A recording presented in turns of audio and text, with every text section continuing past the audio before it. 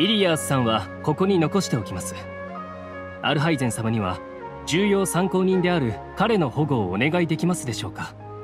いいだろう。もっとも。彼が自分で自分の身を守れればなお良かったんだがな。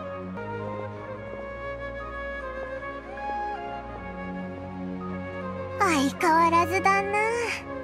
アール村の時もそうだったけどすぐ人を無視するんだもんな。